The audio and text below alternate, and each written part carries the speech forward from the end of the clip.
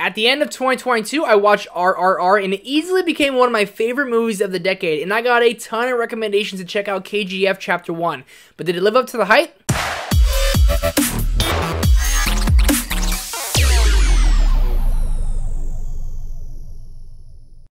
In the 1970s, a gangster goes undercover as a slave to assassinate the owner of a notorious gold mine. What's going on, guys? My name is Trevor, and welcome back to my channel. Let me know your thoughts on KGF Chapter 1 down below in the comments section.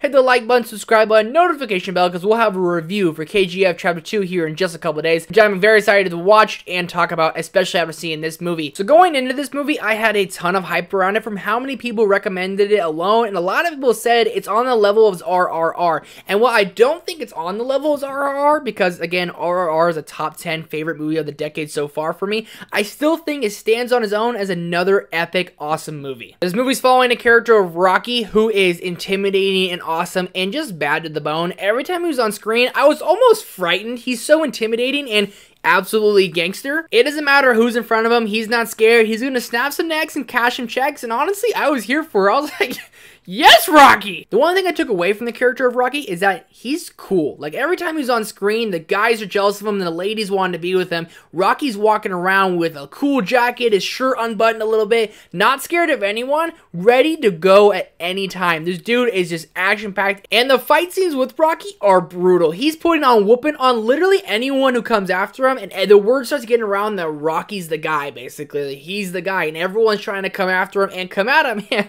No one wants a piece of Rocky. If your name's Rocky, you should just run away after that. I really dug the character of Rocky, but you know what else I dug? The scope of this movie. There's got to be like a thousand plus people that have been in this movie, from extras to actual cast members to people with lines to people who Rocky was beaten up. The scope of this movie is absolutely insane, and I love that, and I was honestly impressed by that. The scope of the movie was absolutely insane, and the score in this movie is riveting, it's intense, it gets you invested. I'm a sucker for a good score. This movie score was awesome. It was fantastic. And I'm starting to find this out, but there's always like a musical number in these movies. Like there was one for RRR and there was one in KGF as well. And I dug it. I thought the music was awesome. I thought it was fitting. And it felt more like a music video rather than people breaking out into song and a dance. Felt like boom, right now we're breaking down to a KGF music video, and I thought again it was cool. While there's also things that I loved about this movie, there's a couple things that I didn't really love about this movie. One of them is the editing choice. There's lots of quick cuts. All of a sudden, Rocky's beating someone up, then he's over here, then he's back over here. It felt almost you're watching a trailer or like a music video just from how fast the cuts were,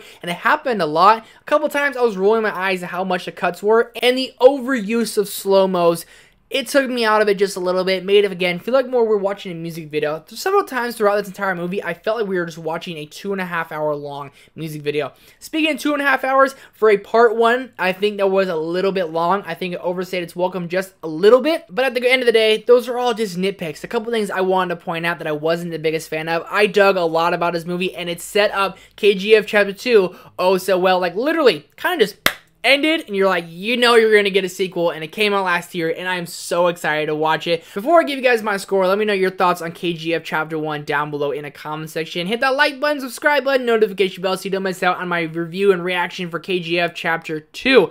At the end of the day, I dug this movie. I thought the action was absolutely awesome. I love the scope and the score and the character of Rocky was so intense. I still get chills just thinking about him. Not really. Overall, for a score, I'm going to go a 3.5 out of 5. A solid 7 out of 10. I wanted just a little bit more from it, and I think Chapter 2 is going to bring this movie home for me. Again, let me know your thoughts on this movie down below in the comment section. Hit the like button, subscribe button, notification bell so you don't miss out on a KGF Chapter 2 review. Thank you so much for watching. I'll see you in the next one.